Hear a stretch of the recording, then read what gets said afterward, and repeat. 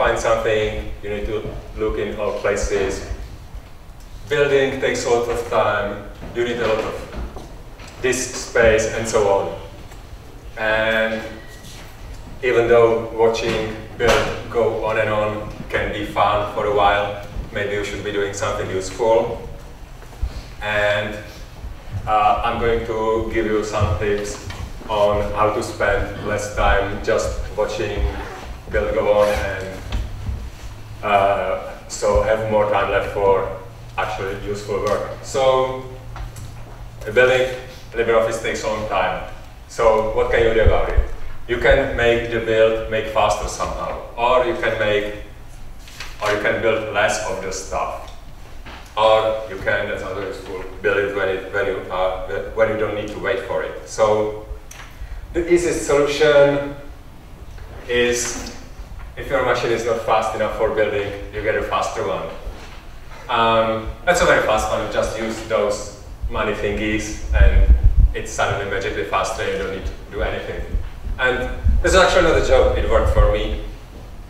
But yeah, um, pretty much any other solution is going to be more complicated than this, but also cheaper. So um, if you don't have one fast machine, you can kind of build a big fast machine, machine out of several slower ones. You can run a distributed build. Uh, this basically works by your local machine, uh, preparing all compilations and sending them to another computers. If you, if you work in a company where you have colleagues, those colleagues have also computers which are probably not busy all the time. If you are at I don't know, college, maybe your roommate has a computer, maybe you have this old machine which you put away when you bought the faster one, and so on.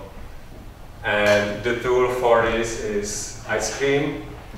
We have a switch enable ice cream which should enable it automatically.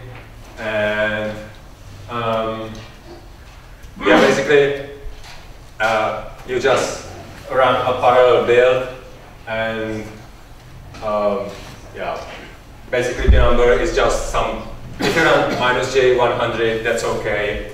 It, it will not uh, overload the system. There is a central scheduler which is rather intelligent where, where to send the jobs. So, for example, when I worked at SUSE, I, of course, installed ice cream on many computers of my colleagues, and some of them were like but it will make my computer slower if you run builds on my machine. And uh, I was like, no, no, no, you won't even notice. And in fact, like, I don't know, maybe two years after I installed the stuff, one of the colleagues came to me and, was like, so you installed this ice cream thingy on my machine too? And I was like, yeah, uh, what's the problem?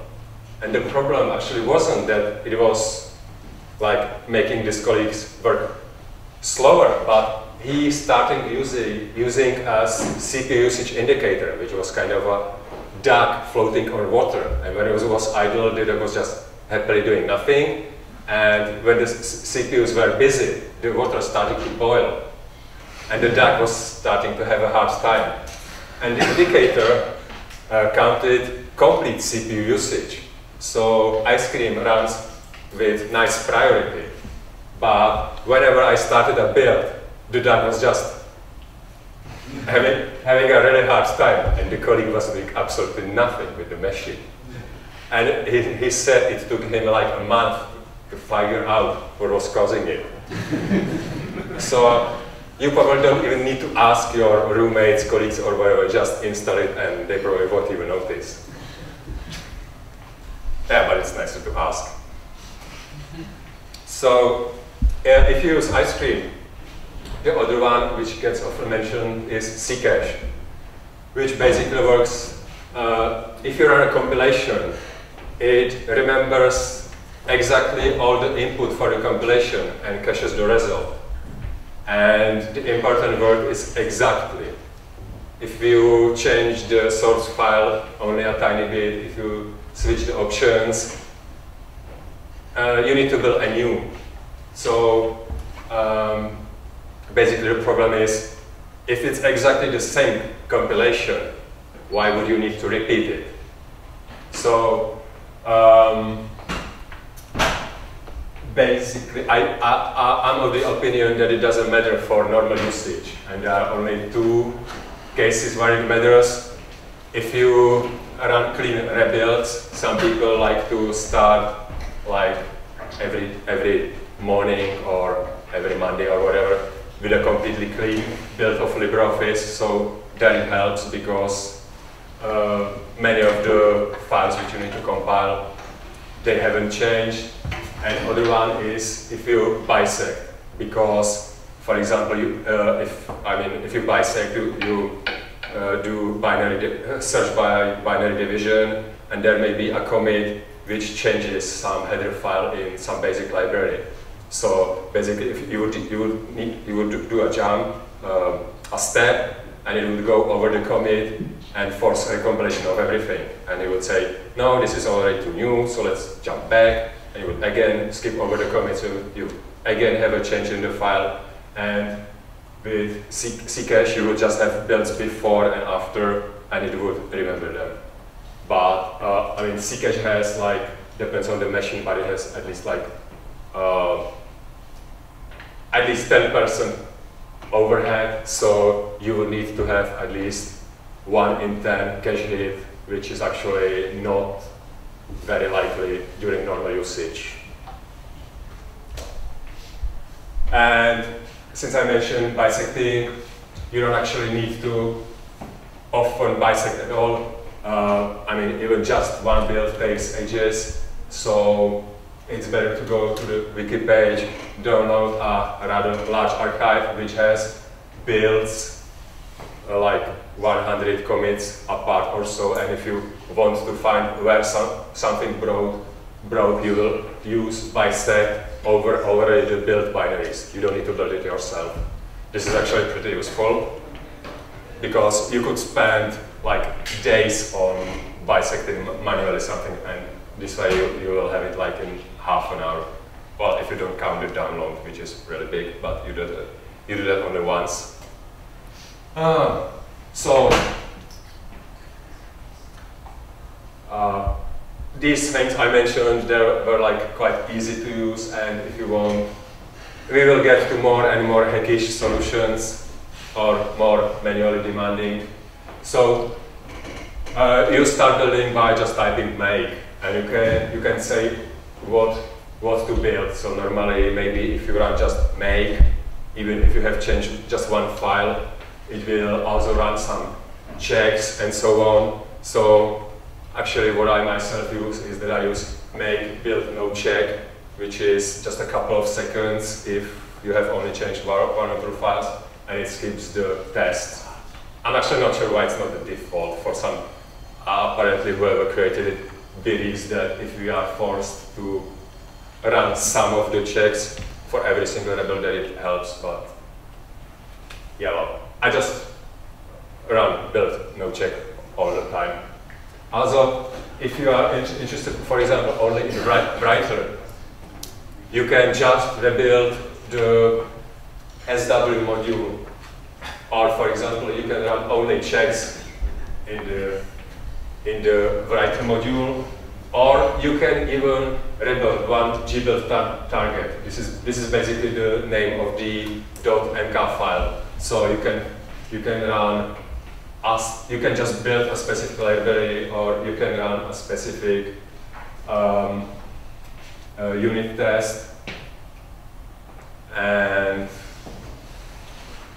yeah, you can you can be basically rather picky about what gets rebuilt if you know how to say what you only want to rebuild. Mm -hmm. And yeah, as I mentioned, make for that always a bit faster, so that also helps.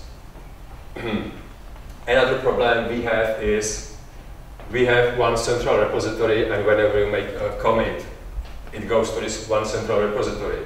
And so that we don't have any merge commits, we need to rebase whenever somebody else um, commits, which, so, and whenever you rebase, your local sources will update.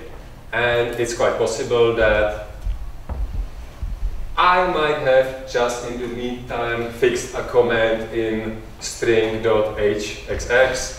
and just because you want to push one your tiny little change, you will need to rebuild everything. So, uh, and maybe it's uh, maybe you have broken build and you, you need to push quickly. You cannot wait until evening. So, how will how will you push it? One of the options, this is actually what I use. You will use git format patch, which will create patch files from all your commits you have locally, which have not been pushed yet. And you will have another git clone checkout, and you will apply the commits there, you will rebase there, and push there. Or you can have uh, something which is described in detail in Miklos's blog. You will use clone with reference, and you will also use another uh, checkout which will refer to your working checkout. And the commits in your working checkout, you can again rebase in the other one, and you can cherry pick your commits and push them from there. So uh, you, will, you will do this without any changes in the, in the, in the checkout where you actually work. Uh, yeah. So how many people here build LibreOffice and do not use enable dbg util? Ah, shame on you. yeah, sure. But you can be excused, for example, by the fact that uh, debug info for LibreOffice, as with everything, is huge. So it takes a lot of time and also it takes time to just write it to the disk. So uh, one of the things is we have a configure option which will let you skip some of them. For example, if I uh, work mainly on writer, I'm not really interested in debug info for Calc or Impress, which is actually quite big. So I can use the option to, to avoid it. And um, it, it can save gigabyte of disk space or so. It's quite a lot. And another thingy which helps, again, um, whenever you build, you create a .o object file from, from the source file and the headers and so on. And you, and you add all the information about debug to this object file. And when you create the shared library, you take all these .o files and merge them into one .so file, the shared library. And with, since again, everything is huge, it's a lot of disk space, and it takes, it can take a, a number of seconds just to read it and write it, and uh, a recent GCC or, or Clang support option, split dwarf, which will put some of these files into separated .dwo files, and these files will not be used when linking. So the SO file will be smaller. This again saves some some uh, disk operations and disk space, so it's faster. Uh, it's rather new. So for example, this is not officially supported by Ice Cream or Ccache yet. There are patches for this, and yeah, I, I, have I have a patch for Ice Cream in the works for like half a year because it also needs a compiler support or ugly hex, yeah, whatever. But uh, eventually, um, and you, you can you can only well right now we don't have any support in LibreOffice either, but you can try it manually. Um, this is even more manual, even more hackish. Uh, if you're if you're on a normal normal build, you either build for with optimizations or you build with debug info. And optimizations take additional CPU time because the compiler is thinking about uh, you know what optimizations it can do and does all the calculations and whatever. And debug info, on the other hand, it, uh, increase disk usage and I/O operations. But sometimes you are, for example, just interested, does it build? And you don't need all the optimizations. So you can explicitly use uh, compile flux to turn both of these on. And of course, after that, it will be slow and you won't be able to debug it. But if you are, for, exa for example, as I said, only checking if it builds or you're just bisecting in case you, in case the uh, by bisect doesn't work, it just works. And it saves a little time. Um, yeah, another chain, another thingy.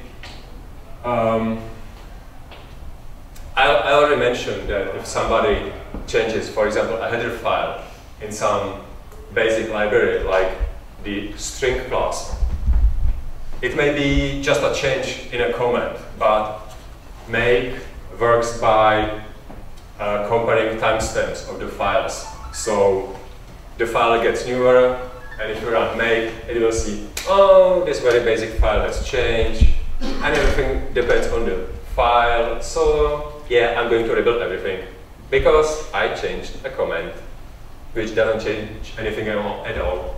So in case uh, you change some very basic file and you know that your change has no practical implications with, which would require a, a rebuild, you can uh, change the timestamp back, for example.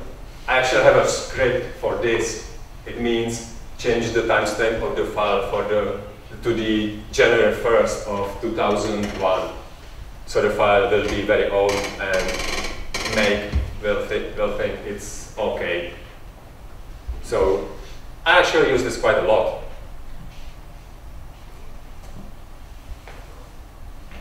Um, yeah, even more hackish for the about thousand time. LibreOffice is huge, so building everything takes a lot of time. And for example, if you are just checking a change in, in, a basic library and you know it affects only writer, maybe you don't want to rebuild calc all the time. So what I once found out is that if you move the directory away and edit, edit uh, remove it also from the mentioned file, and you, you can just run make, and it will not, it's not there, it will not be built. Uh, there are some directories like there is um, the post the post process module which requires it to be built. So it's necessary it's built at least once, otherwise some of the files may be missing which other modules require. But if you are, for, for example, bisecting, you can just move it away, run the build, put it back, do another bisect step, and so on. Hmm.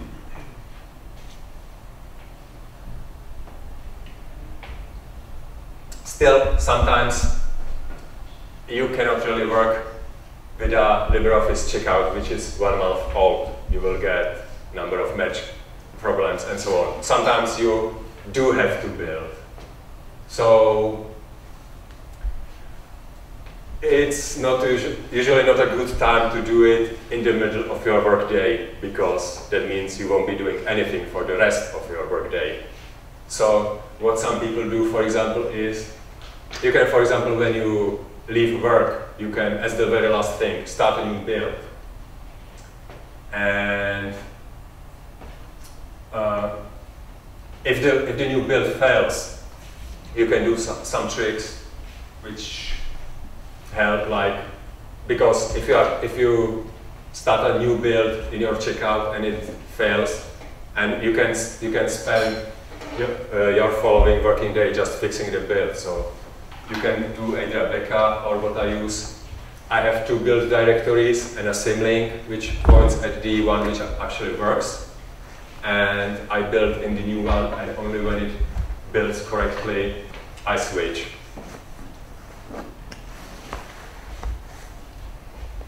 Yeah, and um, I'm pretty sure that there can be more ugly or less ugly hacks. So if, if you have another interesting one, please share. I would like to learn something new too. It still takes a lot, lot of time. So maybe if you have questions or if you have some interesting, useful tricks I have missed. When you do ice cream, do all the machines need to be exactly the same operating system and version? Uh, no, ice cream is rather flexible. Uh, you can, uh, if, you, if you just install it on machines, you can even cross-compile between 32-bit and 64-bit. I mean, in just, in just one direction. But it basically works that it packs a small environment of your build tools, sends it to the other machine, and runs it in a change root. So like OpenSUSE to Fedora, that works, and if you do some manual work, you can even cross-compile. So for example, people working on Android use, use Ice Cream to build on actually fast machines in parallel and um, it, it, it, works. It needs some manual work, but for, for the normal case, you just install Ice Cream, use enable Ice Cream, uh, make sure that at least one of the nodes is a scheduler, because you need a central point which distributes where to build and so on, and it just magically works. Yes? Was there an issue with Ubuntu?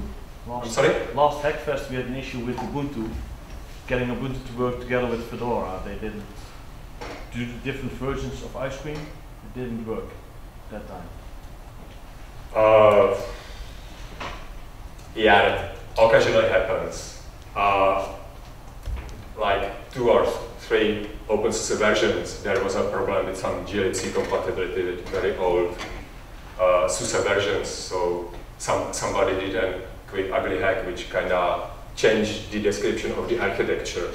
And so basically could, could only distribute from the specific OpenSUSE version to the specific OpenSUSE version, and the rest of the world, rest of the world was a different version. But those, those are rather uh, specific examples. I remember when I still worked on KDE, whenever we had a conference, uh, somebody just started a scheduler, the organizers provided some machines and everybody, they had whatever distribution they had and everybody just built on everybody else's machine. So generally it, it works. Yeah, debug selective info, does it work? I remember I checked in one of the last version and it wasn't uh, working. Wasn't? Hmm. It is working on my laptop actually. Yes? Yeah. Okay. Uh, Probably something local. You can uh, actually do this thing, uh, you can do uh, build without any override and then uh, get in the model and uh, let's say ah, I have to in, in yes. the model I have to yes, mention I want to make clean that model and uh, debug equals t or something there's ah, some okay. kind of thing so. yeah. yeah you can also you can also do debug info manually if you if you run make debug uh, equals one or t or whatever you, you can build everything without debugging for and rebuild again in the module where you do need the debug info. It also works. Okay. yeah. Uh, the last trick you mentioned, like uh, having two working directories and then switching when, when the new build is running. Mm -hmm. um, how do you uh, get um, get around the problem that you typically can move around your source tree? because all the dependencies are absolute puzzle. Yeah, that I have a build script which does this. What's that? Uh, it changes to the absolute path. So I have uh, L1 and L2 directories, which are the two builds, and I have LO symlink, which points, points to the one uh, or, or to the second one. And this build script, uh, uh, I work in the LO1 symlink, and when I run build, this just changes directory to L1 or L2, whichever, whichever one is the one where it points to. Yeah, I, I, I first used it without it, and I kind of noticed that it was magically updating files in one or other directory, so it's necess necessary to use uh, absolute path for the actual building. But I've been using this for, I don't know, You work two or three years by now and works fine.